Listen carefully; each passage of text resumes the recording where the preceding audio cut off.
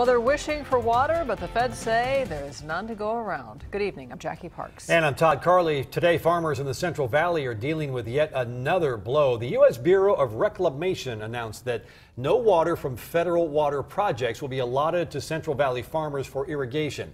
The feds operate a vast system of rivers, canals, and reservoirs that span across the state. 23 ABC's John Genovese has more on what the announcement means for the county's agricultural industry.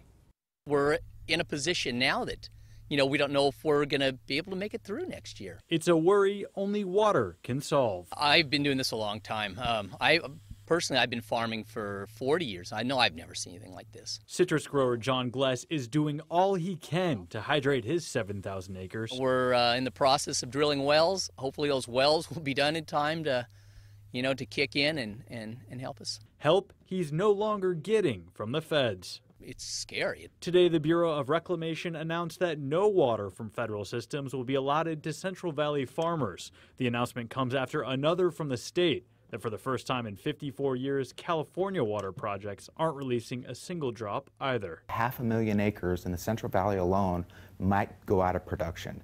That's the size of San Diego and Los Angeles combined. Benjamin McFarland with the County Farm Bureau says consumers can expect food prices to rise. There's no magic wand to the situation. The only magic wand is more rain.